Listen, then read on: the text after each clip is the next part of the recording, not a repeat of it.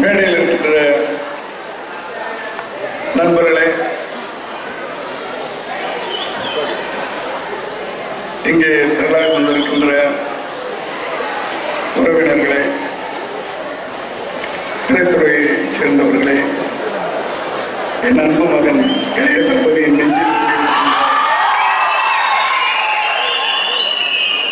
என் அருமை பிள்ளை உங்கள் எல்லோருக்கும் என்னுடைய காலை வணக்கம் மத்தியான வணக்கம் ஏதோ. இது ஒரு நல்ல நிகழ்ச்சி நடந்துகிட்டு இருக்கு இந்த நான் நான் இந்த படத்தை வந்து நான் எயிட்டி டூல நான் பண்ணேன். நான் அஞ்சு மொழிகளில் இந்த படம் வந்து ரீமேக் ஆச்சு. மூணு மொழிகளில் நான் டைரக்ட் பண்ணேன். இப்போ இந்த படத்துக்கு நான் தயாரிப்பாளனா மாறி இருக்கேன் என்னோட சேர்ந்து என்னுடைய சகோதரி மகள் விமலா விமலா ராணி அவர்கள் என்னோட சேர்ந்து இந்த படத்தை தயாரிச்சிருக்கிறாங்க. அவங்களுக்கு தயாரிப்பு என்பது புதுசு இல்லை. ஏன்னா எப்பப்போ எனக்கு ஒரு ஒரு ஸ்ட்ரென்த் வேணுமோ அப்போ தான் அவங்கள வந்து நான் சேர்த்துக்கிறேன். வந்து விஜய் அறிமுகப்படுத்தும் போது நாளை தீர்ப்புன்னு ஒரு படம் எடுத்தேன். அது ஒரு பெரிய ஹிட்டில் ஒரு சுமாரான படம் தான். ஸோ அந்த நேரத்தில் எனக்கு ஒரு கஷ்டமாக இருந்துச்சு. ஆனால் மறுபடியும் விஜய் வந்து எப்படியாவது கொண்டாந்துடணும் அப்படின்ற ஒரு வெறி மட்டும் இருந்துச்சு. அந்த ஒரு படத்தோடு நின்றக்கூடாது தொடர்ச்சியாக படம் பண்ணி அவரை கூட நிறுத்தணும் ஒரு நடிகனாக நிறுத்தணுன்ற ஒரு வேகம் இருந்துச்சு. அந்த நேரத்தில் விமலா அவர்களை நான் கூட சேர்த்துக்கிட்டு பிவி கம்பைன்ஸ் பிரிட்டோ விமலா. அதான் பிவி கம்பைன்ஸ் அந்த பேர்ல தான் செந்தூர பாண்டி ரசிகன் தேவா. இந்த படங்களை எடுத்தோம். இந்த ரசிகன் என்ற ஒரு படத்திற்கு பிறகுதான் விஜய் சினிமாவில் இருக்கின்ற தயாரிப்பாளர்கள் கொஞ்சம் திரும்பி பார்த்தாங்க. ஆகா இந்த படம் என்னடா நூத்தி ஐம்பது நாள் ஓடிச்சு இந்த குதிரை மேல பணம் கட்டலாமா அப்படின்னு கொஞ்சம் திரும்பி பார்க்க வைத்த படம் ரசிகன் அதற்கு பிறகு உங்களுக்கு தெரியும் அவர் கடுமையா உழைச்சாரு. தானே வளர்ந்தாரு. இன்னைக்கு தமிழக மக்கள் மத்தியில ஒரு இளைய தளபதியா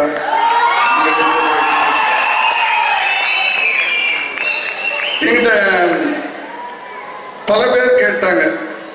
எங்க நீங்க தானே ஒரிஜினல் டைரக்ட் பண்ணீங்க. இந்த படத்தை டைரக்ட் பண்ணக்கூடாது. ஏன் நீங்க டைரக்ட் பண்ணல? பல பத்திரிகையாளரும் கேட்டாங்க நண்பர்களும் கேட்டாங்க. இதுக்கு ஒரே பதில் தான் சிம்பிள் அந்த முப்பது ஆண்டுகளுக்கு முன்பு எடுத்த படம் அது. அன்னைக்கு இருந்த சினிமாவினுடைய நிலைமை வேறு இன்னைக்கு இருக்கின்ற ரசனை வேறு. அதாவது ஒரு கல்யாணத்துக்கு பொண்ணு பார்க்க போறோம்னு வச்சுங்க பொண்ணு அழகா இருந்தா போதும். சில இளைஞர்கள் ஓகேன்றவாங்க. ஆனா பொண்ணு எப்படி இருந்தாலும் அது கழுத்துல என்ன போட்டிருக்கு கையில என்ன போட்டிருக்கு போட்டிருக்கு. என்ன படிச்சிருக்கு? என்ன வேலை செய்து எவ்வளவு சம்பளம் இப்படின்னு நினைக்கிற ஒரு ஒரு- இளைஞர்கள் இருக்காங்க. இது தவறுன்னு சொல்ல வரல அது இன்றைய என்ன சொல்றது எக்கனாமிக் ஸ்டைல் அது மாதிரி சினிமாவும். அன்னைக்கு ஒரு கதை அந்த கதையை அப்படியே சொன்னா ஒத்துக்கிட்டு இருந்தாங்க. ஒரு அழகான கதையை ஒரு அழகா எடுத்து கொடுத்தோம்னா போதும். ஆனா இன்னைக்கு கதை அழகா இருந்தா கூட அது காதல நகை கழுத்துல எல்லாம் மாறி மாறி நிறைய வைரத்திலையும் இதுலையும் போட வேண்டியிருக்கு. அதுதான் மேக்கிங் இப்போ வர்ற ஜெனரேஷன் இப்போ இப்போ பேசணும் சொன்னாங்க என்கிட்ட இருந்து உதவியாளர்கள் சங்கர் மாதிரி ராஜேஷ் மாதிரி போனாங்க அப்படின்ட்டு. அவங்களுக்கு தான் இந்த ஜெனரேஷன் ஒரு கதை வெறும் கதையா சொல்லக்கூடாது அதுக்குள்ள என்ன வைக்கணும்? என்னென்ன அடிஷனலா காதல எப்படி டைமண்ட் போடணும் கழுத்துல எப்படி போடணும்? அப்படின்ற ஒரு வித்தை தெரிஞ்சுட்டு இன்னைக்கு வர்ற ஜெனரேஷன் வர்றாங்க. அதைத்தான் மக்களும் ரசிக்கிறாங்க. இன்றைய ரசனை எப்படி அந்த ர- அந்த மாதிரி ஒரு கழுத்துல காதல போடுறதுக்கு எனக்கு தெரியாது. அந்த பழக்கம் எனக்கு இல்லை. அதனாலதான் அது மாதிரி இளைஞர்கள் வர்ற ஜென்ரேஷன் இப்ப வர்றவங்க சாதாரணமா வரல வர்ற ஜென்ரேஷன் அதுவும் புதுசா வர்றவங்க புது புது யுத்திகளோட புது புது டெக்னாலஜியோட ஃபயர் ஒரு ஃபயரை தேக்கி வச்சுட்டு வர்றாங்க. அது மாதிரி தேக்கி வச்சுக்கிட்டு ரெண்டு வருஷமா என் கூட இருந்த ஸ்னேகா என் சகோதரியுடைய பேத்தி எனக்கு பேத்தி. இந்த ஸ்னேகா வந்து அவங்க சொன்னார் அவங்க அப்பா பேசினாரு ஒரு பெரிய பிஸ்னஸ் மேனு உலகம்லாம் சுத்திட்டு இருக்கிறாரு. அவங்க அம்மா காலேஜ் வச்சிருக்கிறாங்க ஸ்கூல் வச்சிருக்கிறாங்க ரெசார்ட் வச்சிருக்கிறாங்க ஹோட்டல் வச்சிருக்கிறாங்க. ஆனா ஸ்னேகாவுக்கு எப்படின்னு தெரியல சின்ன வயசுல இருந்து எங்க வீட்டுல இருந்ததுனால எனக்கும் தெரியாம ஸ்னேகாவுக்கு அந்த சினிமா மேல ஒரு தானம் ஒரு வெறி. சினிமாவில் ஒரு இயக்குனராக வரணும் அப்படின்ற ஒரு வெறி இருந்துச்சு. அதனாலதான் அவங்ககிட்ட இந்த படத்தை ஒப்படைச்சேன் தான் அவர்கள் இயக்குனரான கதை நாங்கள் தயாரிப்பாளான கதை. வேற இன்னொன்று ஒரு சந்தோஷமான நாங்கள் என்னுடைய நேச்சர் எப்படின்னா ஒரு ஏணியில போறது ரொம்ப ஈஸி ஆனா மற்றவங்களை உயரத்துக்கு போறதுக்கு நம்ம ஏனியா இருக்கிறதுல ஒரு சந்தோஷம். அது ஒரு திருப்தி இருக்கு. என்னிடம் இருந்தவர்கள் நீ சொன்னார்ல என் பள்ளியில் படித்த ஒருவர் இன்னைக்கு ஒரு பெரிய டைரக்டரா இருக்கிறார். என் பள்ளியில் படித்த ஒரு நடிகர் இன்னைக்கு ஒரு பெரிய பொலிட்டிக்கலா ஒரு கேப்டனா இருக்கிறாரு. என் பள்ளியில் படித்த ஒருவர் ஒரு எடிட்டர் பெரிய எடிட்டராக இருக்கிறார். என் பள்ளியில் என்னிடம் உதவியாளராக இருந்த ஒரு ஒரு கேமராமேன் இன்னைக்கு ஒரு பெரிய கேமராமேனாக இருக்கார். அப்படின்னு சொல்லிக்கிறதுல ஒரு வாத்தியார் மாதிரி. எனக்கு அதில் ஒரு ஒரு- ஒரு சந்தோஷம் ஒரு ஆத்ம திருப்தி இருக்கு. அதை நான் வந்து அப்பப்போ பண்ணிக்கிட்டே வருவேன். அதனால தான் ஒவ்வொருத்தரையும் வளர்த்து விட்டுறேன் வளர்த்து விட்டுறமே தவிர வளர்ந்த பிறகு அவங்க பின்னாடி போறதுக்கு எனக்கு தெரியல. முடியலன்றது வேற தெரியல. ஆகவே அப்பப்போ சில முயற்சிகள்ல கொண்டாடணும் அதாவது சட்டமன்றத்தில் ஒரு ஹீரோ வந்தார். அதை மறுபடியும் எடுக்கும்போது ஏன் இந்த படத்தின் மூலமாக ஒரு ஹீரோவை உருவாக்கக்கூடாது? ஏன்னா ஒரு கதையின் கதாபாத்திரமும் தான் ஹீரோவை உருவாக்குகிறது. இந்த கதாபாத்திரம் நல்லா இருந்தா தானே இந்த ஹீரோ ஆயிடுவார் அது நடிக்கிறவர். இல்லைன்னா ஒரு ஒரு ஒரு சப்ஜெக்ட் வந்து அத்தனை மொழிகள்லையும் வந்து சக்சஸ் ஆகாது. ஆனால் இதில் என்ன வேடிக்கைன்னா இப்ப ஸ்னேகாவுடைய ரசனை. இந்த படத்தை திருப்பி எடுக்கணும் அப்படின்னு ஆசைப்பட்டாங்க. ஆனால் அதே நேரத்தில் அவங்ககிட்ட வந்து எங்கிட்ட முதல்ல கேட்டுக்கிட்டது தாத்தா நீங்கள் வந்து ஃபேமிலி பேஸில் ஆக்ஷன் வச்சுருந்தீங்க. இப்போ வேலைக்கு ஆகாது. அந்த லவ் பேஸ்ல எனக்கு ஆக்ஷன் பண்ணி கொடுங்க ஸ்கிரீன் பிளே பண்ணி கொடுங்க அப்படின்னாங்க அப்படி ஒரு லவ் பேஸ வச்சு அதான் இளைஞர்களுக்கு பிடிக்குது என்ன மாதிரி காலேஜ் ஸ்டூடெண்ட்டுக்கு பிடிக்குது நீங்க அதை மாத்தி கொடுங்கன்னு சொன்னாங்க. அப்படி மாத்தி கொடுத்தேன். அப்படி மாற்றி கொடுத்ததற்கு காரணம் ஸ்னேகா படத்தை ஃபர்ஸ்ட் காப்பி பார்த்துட்டு எல்லாரும் பாராட்டினாங்க. என்ன சார் டயலாக் ஒவ்வொரு லைன்ல இருக்கு? நீங்க வா- நீங்க நிறைய எழுதுவீங்களே டயலாக் இல்லை ஒவ்வொரு லைன்ல இருக்குது அப்படின்னு பாராட்டினாங்க அப்படி ஒரு லைன்ல எழுத வச்சதும் ஸ்னேகா இப்படி ஒரு டைட்டான ஸ்கிரீன் பிளே செகண்ட் ஹாஃப்ல வந்து பாத்தீங்கன்னா நெருப்பு மாதிரி போகும். எப்படி அவ்வளவு ஃபாஸ்டா இருக்குது அப்படின்னு சொன்னாங்க.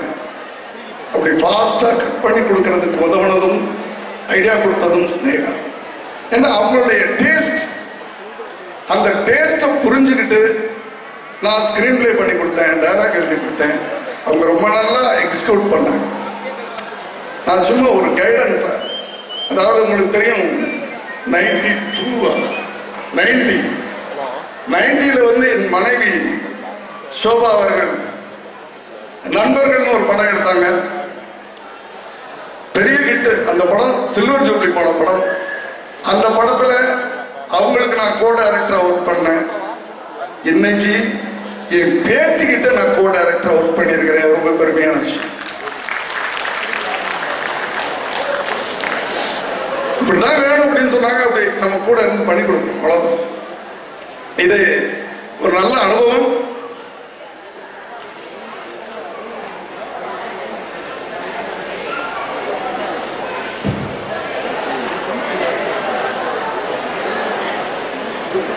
அடுத்தது விஜய் விஜய் விஜய் ஆண்டனி இப்படி வந்து ஆஹ், நாளைய தீர்ப்புல அறிமுகமாகி இன்னைக்கு இந்த அளவுக்கு வளர்ந்து இளைய தளபதியாகி இன்னைக்கு கையில துப்பாக்கி எடுத்துக்கிட்டு தும்சம் பண்ணிட்டு இருக்கிறார் இளைய தளபதி. அது மாதிரி இன்னொரு விஜய் எங்க குடும்பத்துல இருக்கிறாரு. அவரே நான் விஜய் விஜய்னு கூப்பிடுவேன். அவர் எனக்கு புள்ள மாதிரி தான் விஜய் ஆண்டனி. இந்த படத்துக்கு நான் உண்மையில ஒரு நடந்த விஷயத்தை இங்க சொல்லிடலாமா? சார் உண்மையை சொல்லிடலாமா? ஆ? அவரு ஹீரோ ஆயிட்டார். இந்த படம் ஆரம்பிக்கிற ஸ்டேஜில் படம் நடிச்சுக்கிட்டு இருக்கிறாரு. மியூசிக் போட்டுக்கிட்டு இருக்கிறாரு. டே டைம்ல போய் படம் ஆக்ட் பண்றாரு. நைட்ல வந்து மியூசிக் போட்டுக்கிட்டு இருக்கிறாரு. இந்த நெருக்கடியான நேரம் நேரத்தில் இந்த படம் நாங்கள் ஸ்டார்ட் பண்றோம். எனக்கே டெலிகேட்டா இருந்துச்சு. விஜய் கிட்ட போய் அதாவது விஜய் ஆண்டனி கிட்ட போய் எனக்கு மியூசிக் போட்டு கொடுங்கன்னு கேட்கறதுக்கு எனக்கு கொஞ்சம் தயக்கமா இருந்துச்சு. இவ்வளவு பிஸியா இருக்கிறாரு. அப்ப அப்பதான் வந்து உங்க இளைய தளபதி படத்துக்கெல்லாம் போட்டு எங்கேயோ இருக்கிறார். இங்க இருக்கிறார் சோ அவரை நான் கஷ்டப்படுத்துறதா அப்படின்னு நினைச்சுக்கிட்டு இருந்தேன். அப்போ ஒரு போன் விஜயுடைய மனைவி அவரு அழகா பட்டுன்னு கூப்பிடுவாரு? எங்களுக்கு பட்டுன்னுலாம் உண்மையான பேர் தெரியாது எனக்கு. அவங்க ஒரு நாள் ஃபோன் பண்ணாங்க எனக்கு. அங்கிள் என்ன நினச்சிக்கிட்டு இருக்கிறீங்க நீங்க? அப்படின்னாங்க. நான் ஒண்ணுமே நினைக்கலாமா படம் பண்றேன். இல்லை இல்ல வேற யாரும் மியூசிக் டைரக்டர் மைண்ட்ல நினைச்சுக்கிட்டு இருக்கிறீங்களாமே ஸ்னேகா? சொன்னா. அப்படின்னு. இல்லம்மா ஒரு பிஸி கிஸ் அப்படின்னு ஆரம்பிச்சேன். இந்த படத்துக்கு விஜய் மியூசிக் பண்றாரு. வேற யாராவது போட்டிங்கன்னா எனக்கு அவ்வளவுதான் அப்படின்ட்டு ஒரு செல்லமா கோச்சுக்கிட்டாங்க. அப்பதான் ஐயோ குடும்பத்துல ஒருத்தர் அப்படின்றது அன்னைக்கு தான் ஆணித்தரமாக எனக்கு நம்ம குடும்பத்துல ஒருத்தர் அப்படின்றது பட்டுச்சு. அந்த பிஸிலையும் நீங்க இப்ப பாட்டெல்லாம் பாத்தீங்க. மூணு அழகான மெலடிஸ் நான் எப்பவுமே மெலடியை ரொம்ப லைக் பண்ணுவேன். அப்படி ம- அப்படி மெலடிஸ் அழகான மெலடிஸ் அது வந்து அதுக்கு ரொம்ப சிரமப்படவே இல்லை. எங்க படத்துக்கு அது எப்படின்னு தெரியல. எங்க படத்துக்கு மியூசிக் போடுறதுக்கு அவர் சிரமப்படவே இல்லை. விளையாட்டா போட்டார். அஞ்சு பாட்டும் நான் நினைக்கிறேன் ஒவ்வொரு டியூனும் வந்து காலையில உட்காரவும் ஒன் வரவும் ஒரு டியூனும் போட்டு இதுதான் அப்படின்னு முடிச்சுப்பாரு. அஞ்சு பாட்டுக்கு அஞ்சு நாள் தான் அவர் டியூன் டியூன் போடுறதுக்கு எடுத்துக்கிட்ட டைம் நான் நினைக்கிறேன். கரெக்டா விஜய்? அவ்வளவுதான். அவரு விளையாட்டா போட்டு ஆனா அவர்கிட்ட ஒரு தன்னம்பிக்கை உண்டு. ஒரு போ அது அவர் நினைச்சாரு. சார் அஞ்சு பாட்டு கிட்டு சார். அப்படிம்பாரு அது அந்த அந்த வைப்ரேஷனை எனக்கு அவர்கிட்ட ரொம்ப பிடிக்கும் பிடிச்ச விஷயம். ஏன்னா எனக்கு இருக்கிற அந்த அந்த தன்னம்பிக்கை. மற்றவங்களுக்கு திமிர் மாதிரி தெரியும். ஆனா அந்த தன்னம்பிக்கை தான். சார் அஞ்சு பாட்டு கிட்ட நீங்க பாருங்க அப்படின்னு இன்னைக்கு நீங்க பாத்தீங்க அவ்வளவு அழகா அந்த மெலடிஸும் சரி அந்த ரெண்டு கமர்ஷியல் சாங் சரி ரொம்ப அழகா போட்டு கொடுத்துருக்கிறாரு. ஏன்னா ஒரு படத்துக்கு படத்தினுடைய வெற்றிக்கு ஒரு 50% பர்சன்ட் வந்து சாங்ஸ் தான். அந்த படத்தை நம்ம அந்த பாட்டுகளை எடுக்கணும் அப்படின்னு சொல்லும்போது ராஜேஷ் இப்போ சொல்லும்போது கேட்டார் நான் தமிழ்நாடை விட்டு தாண்ட மாட்டேன் அப்படின்ட்டு. நான் உண்மைதான் நான் ரொம்ப படம் எடுக்கிறது வந்து கதைக்கு என்னவோ அவ்வளோ செலவு பண்ணி அதை எடுத்துட்டு ஒரு சும்மா அந்த ஒரு அஞ்சு கோடி செலவு பண்ணனா அஞ்சு கோடி பத்து லட்சம் வந்தால் போதும். ஆ, பத்து லட்சம் லாபம்டா அப்படின்னு சந்தோஷப்படுறாங்க.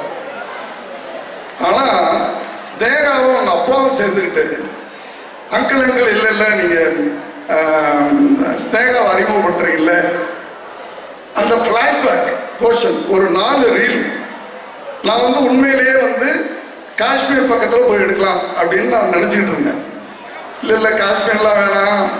நீங்கள் எங்கேயாவது முதல்ல அவங்க ஆரம்பித்ததே வந்து லண்டன் போயிடுங்க அப்படின்னு. நான் ஐயோ லண்டன் ரொம்ப செலவாகும் பிரிட்டோ வேண்டாம். அப்படின்னு.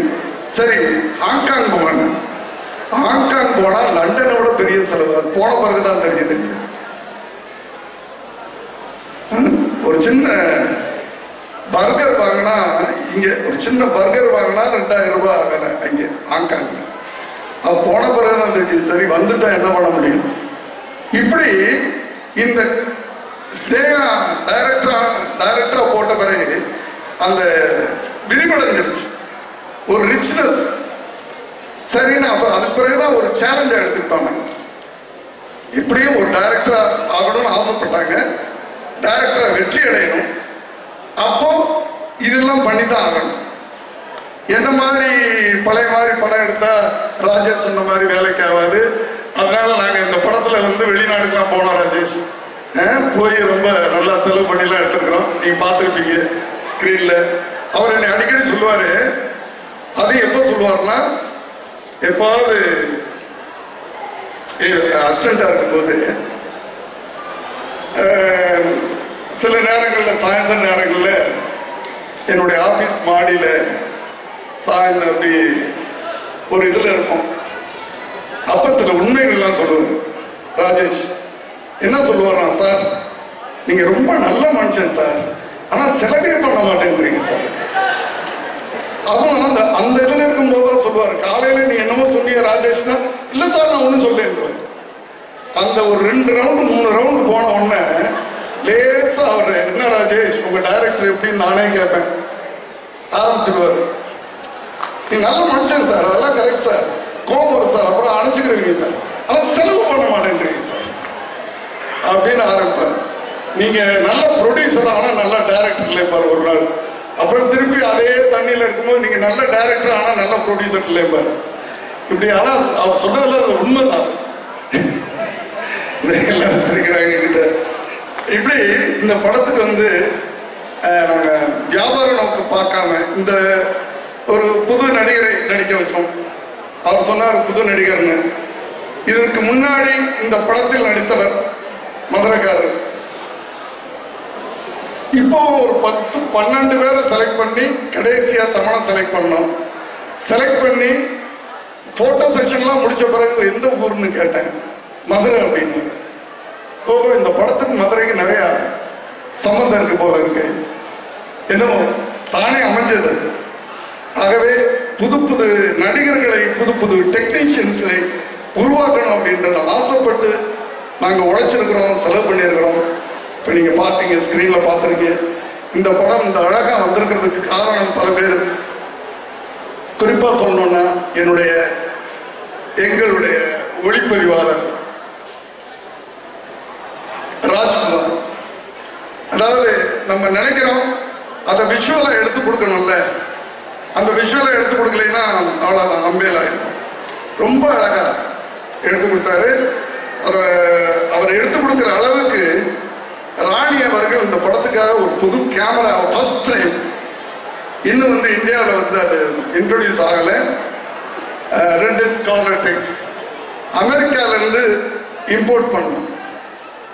ரெட் அந்த தொழில்நுட்பத்தில் இந்த படத்தை எடுத்திருக்கிறாரு. ஆகவே தன் மகளுக்காக ஒரு கேமராவே விலை உயர்ந்த கேமரா அது. அந்த கேமராவே இறக்குமதி பண்ணாங்க. அடுத்து எடிட்டர் அன்னைக்கு அந்த ஃபர்ஸ்ட் காப்பி பார்த்துட்டு பணம் நெருப்பு மாதிரி போகுது அப்படின்னு சொன்னாங்க. அதுக்கு காரணம் அவருடைய கைவண்ணம் எடிட்டர் அப்படி நிறைய பேர் இருக்கிறாங்க. அதில் முக்கியமாக ஒருத்தர் சொல்லலாம் அங்கேருந்து கோச்சுக்குருவார் ஸ்னேகாவுடைய கோ டைரக்டர் அவர் வந்து இங்கே இருக்காரா? ஆ இவர்.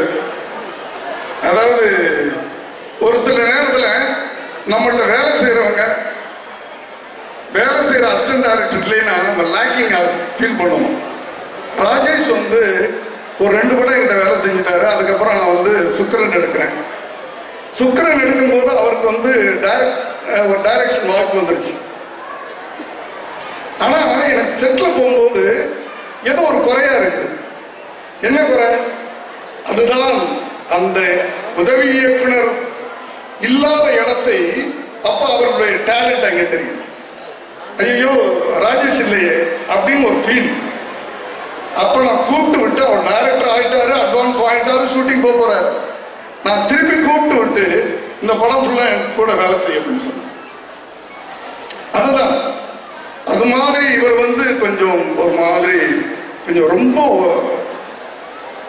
ஆனா இவர் இல்லைன்னா ஐயோ இவர் இல்லையேன்னு ஃபீல் பண்ண வச்சிருவாரு. அப்படியாப்பட்ட ஒரு கோ டைரக்டர் ஸ்னேகாவுக்கு என்னிடம் இருந்தவர் நான் ஸ்னேகாவுக்கு நான் கொடுத்துட்டேன். ஒரு இயக்குநர்கள்லாம் அப்படித்தான் இருக்கணும். அவங்க ஆப்ஷன்ஸ் வந்து நம்ம ஃபீல் பண்ணணும். அவங்க ஆப்ஷன்ஸை நம்ம ஃபீல் பண்ணணும். உண்மையும் போய் போட்டு உடைச்சிடணும். சும்மா போட்டு ஜாலரா போட்டு ஜாலரா போட்டு டைரக்டர் அழிச்சிடக்கூடாது ஒரு உண்மையான அசிஸ்டன்ட் டைரக்டர் இப்படி பல பேர் இந்த படத்துக்காக உழைச்சிருக்கிறாங்க. அடுத்து